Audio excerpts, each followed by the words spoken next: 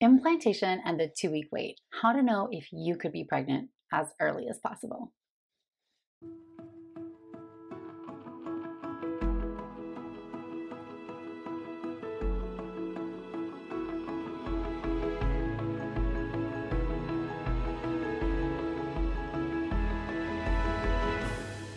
Hi, friends. I'm talking about implantation and how soon can you know if you're pregnant and what are the signs. I am Natalie Crawford, MD. I'm a fertility physician in Austin, Texas, and this channel exists to provide you fertility facts and education so you can be empowered about your reproductive health. Go ahead and subscribe if these things are of interest to you and support the channel even more.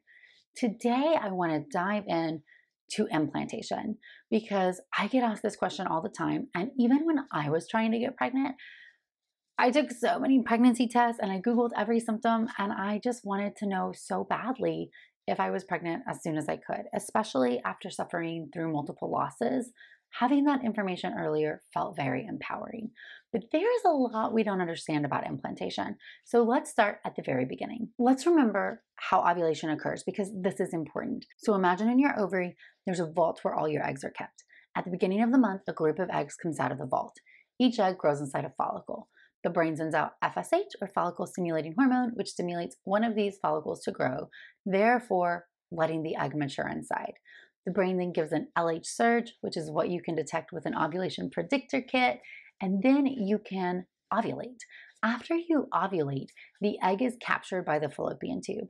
The ovary and the fallopian tube are actually separate, so the egg has to travel and get sucked into the fallopian tube. When it enters into the fallopian tube, it lives for about 24 hours and then fertilization occurs. So, fertilization occurs inside the fallopian tube. That is where we first have an embryo. So, an egg is just the egg is released from the ovary, contains female genetics. An embryo is a combination of female male genetics, and that's your new life. The embryo then has to migrate through the fallopian tube and enter into the uterus. As it does this, it is transitioning through different stages of development. So it turns on day three into about an 8 to 10 cell little morula, and then it develops even further as it enters into the uterus on day five or six as what we call a blastocyst. A blastocyst is an expanded embryo. It's 200 or more cells. It has outer cells that are all the placenta or the trophectoderm, and it has inner cells that are the inner cell mass or it becomes the baby. So those first few days after ovulation, there's nothing to implant. The embryo is not even in the uterus.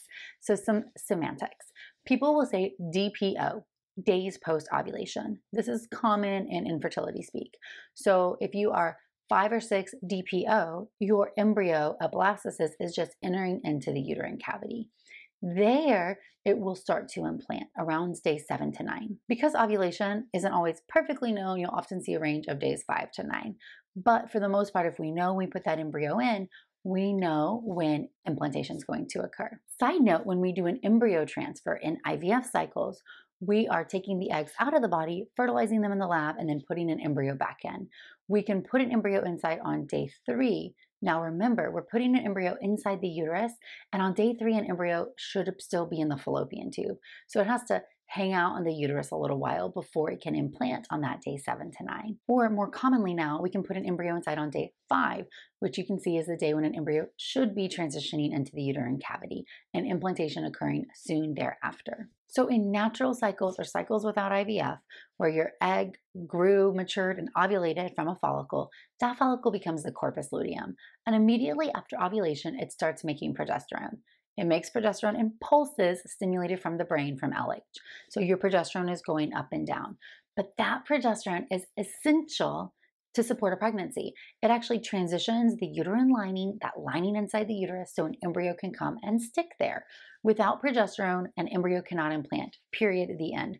We know this from studies where if you took an ovary out of a monkey, it would not have a pregnancy implant or it would lose a pregnancy that corpus luteum also has to function until the placenta starts making progesterone itself. So when you look at the hormone pattern in a normal cycle, in your early cycle, you'll have a rise of estrogen as the egg is becoming more mature. After ovulation, you'll start having progesterone production made in pulses, but there is no HCG, human chorionic gonadotropin, until a pregnancy implants. And that's what pregnancy tests check. So your ovulation kits check LH, your pregnancy test check HCG. HCG is made by the embryo. Its whole job is to stimulate that corpus luteum to make progesterone also. So it takes over for the brain. We call this being rescued by the pregnancy. So the corpus luteum normally will die off after about two weeks if there's no HCG around. That's just how long it can live. However, if a pregnancy starts to implant, HCG will then start to stimulate the progesterone production, and we see it start to rise more because HCG is not released in pulses, it's more of a steady release. So now we see rise in progesterone. This is important because this controls some of our symptoms. So the HCG and that huge burst of progesterone, which starts to rise once implantation happens. So you have a little bit of a rise after ovulation. So everybody starts to feel some high progesterone symptoms after ovulation. However, if you get pregnant, very often you start to feel extra symptoms as you enter into that late luteal phase or after day seven to nine post ovulation when that HCG starts rises. So, what are the symptoms? So, you can have breast tenderness and breast enlargement. So, you can also be nauseous or food sensitive or very sensitive to smells. You may have changes in your appetite or start to get grossed out by certain foods. We also tend to see bowel changes, so progesterone often can cause constipation and bloating. Fatigue is a huge symptom of high progesterone, and anybody who's been pregnant will tell you that, and I will tell you that for myself. And some women also complain of headaches or mood changes. Those are all progesterone related signs and symptoms that you may see. Now, remember, this can be really hard to distinguish from both the luteal phase, where you just have elevated progesterone naturally. Some people are very sensitive to that or if you're taking progesterone treatments because a fertility doctor gave them to you for the luteal phase. So these can be really hard to say. Are these symptoms just normal or are they pregnancy symptoms? Now, as that embryo implants, what is implantation? The human body is fascinating. Okay, think about what implantation really is. Those symptoms are all from progesterone. So that's a hormonal elevation from HCG. But how does HCG get into the bloodstream? An embryo literally eats into your uterine wall and starts to implant. I mean, that's the nicest way that I can say it. So, an embryo is captured in that endometrial fluffy layer of the uterus, and then it secretes enzymes that allows that to start growing into the maternal vasculature. And that's what the placenta is. The placenta is the most fascinating organ in the human body. You can't argue with me otherwise. The placenta integrates the fetal blood supply with maternal and you get these locking blood vessels. And how does it do that? That doesn't happen without some discomfort or pain or cramping, and they can be pretty severe or even sometimes bleeding or spotting because you're eating into that uterine wall trying to make that attachment. And so, very often, women will have implantation or that mid luteal spotting or cramping. So, starting around those days seven to nine, potentially progressing as that embryo is growing in. So, bleeding, spotting, nausea, appetite changes, breast tenderness or swelling, bloating, constipation, headaches, and mood swings. And then some people feel nothing at all. They never get implantation symptoms, they don't feel a thing.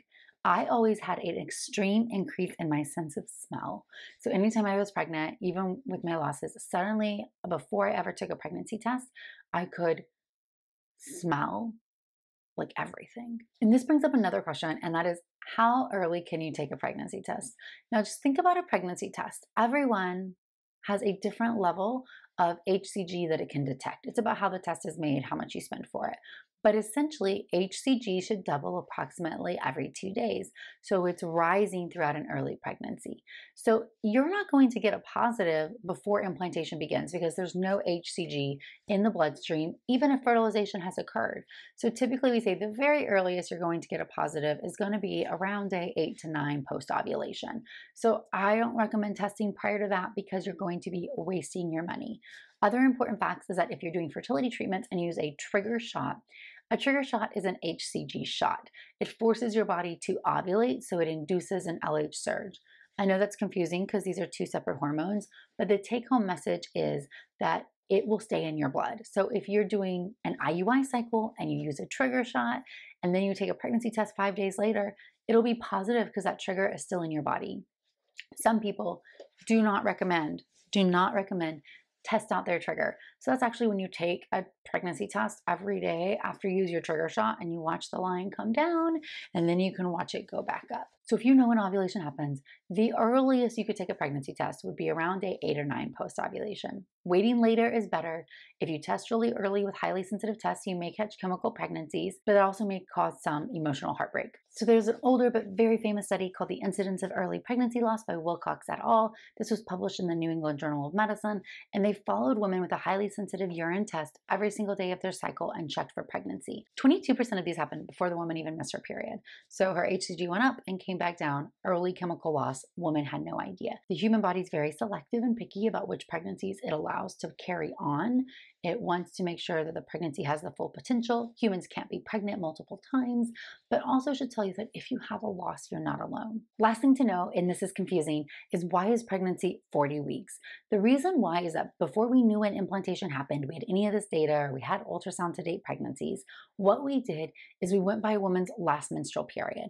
That's the only time we had a marker for. So if you typically ovulate around the two week mark, if you have average four week length cycles, then what we would say is from the last period, you'd add two weeks on. So, for example, when you ovulate, you're two weeks pregnant. I know that's crazy because you're not really pregnant. Also, when we do IVF and we put in a day five embryo, you're two weeks and five days pregnant. So, your actual gestational age and the embryonic age are different, really. Like an embryo is only two weeks old when you're four weeks gestationally pregnant. That's okay to just keep things consistent throughout time. That's what we do. But it's important to know that if your periods are really irregular, your doctor may date you by that LMP, that last menstrual period, and that may not actually be accurate, and then you may get your dates changed later. So if you know when you had ovulation, if you saw a fertility doctor, did treatment, or were testing, always tell your doctor, this was my ovulation date, because that's a more accurate representation of when fertilization and implantation occurred and how pregnant you actually are. Thanks, friends, so much for watching. Would love it if you would subscribe to the channel. As always, you can get more information on the As a Woman podcast or follow me on Instagram at Natalie Crawford MD. Bye.